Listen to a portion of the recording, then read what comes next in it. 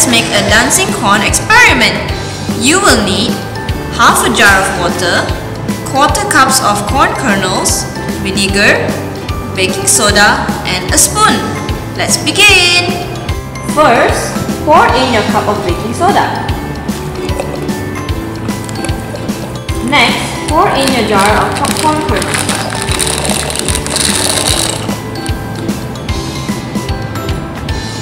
Lastly, pour in your cup of vinegar and watch the corn dance.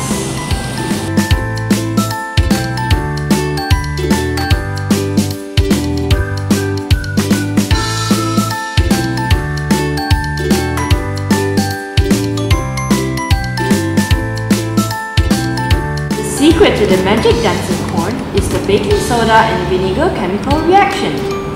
The carbon dioxide bubbles lift the corn but the bubbles pop, the corn falls back down. That's all for today's experiment.